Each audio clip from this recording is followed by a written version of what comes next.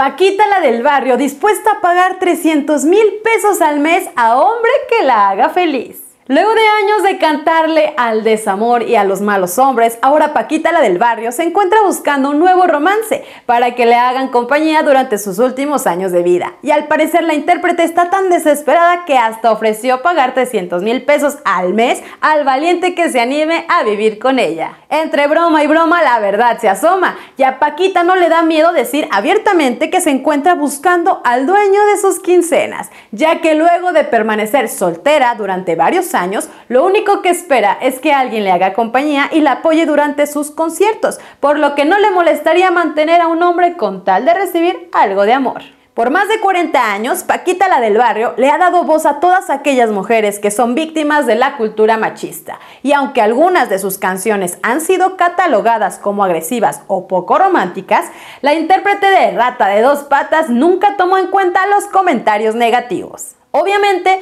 la fama de mujer fuerte y enojona ocasionó que los hombres tuvieran miedo de acercarse a Paquita, pues pensaban que la cantante terminaría dedicándoles alguna de sus canciones de despecho. Sin embargo, actualmente la situación de la originaria de Veracruz es todo lo contrario. Durante una rueda de prensa en donde promocionó su próximo concierto con la Sonora Santanera, Paquita fue cuestionada por los reporteros sobre su vida amorosa y si actualmente tiene novio, a lo que la cantante respondió que por el momento no sale con nadie. Pero eso no evitó que la intérprete de Tres veces te engañé le pidiera a los reporteros que le presenten a un hombre, pues ya se cansó de estar sola, así que cuando alguien se atrevió a cuestionarla sobre si sería capaz de mantener algún galán, Paquita respondió que no tendría ningún inconveniente, pues por el momento solo quiere sentirse acompañada. Para continuar con el tema del romance, los reporteros le preguntaron a la cantante de 76 años sobre las características que debería de tener el hombre de sus sueños,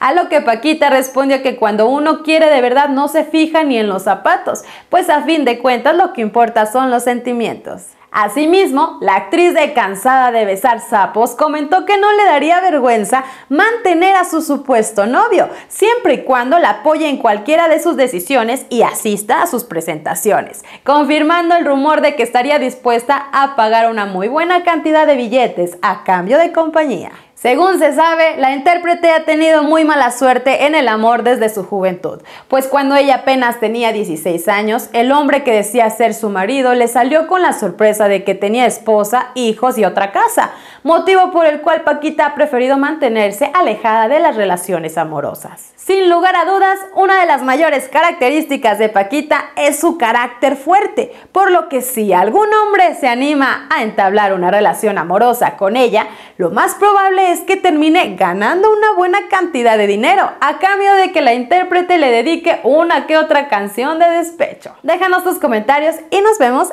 en el próximo borlote.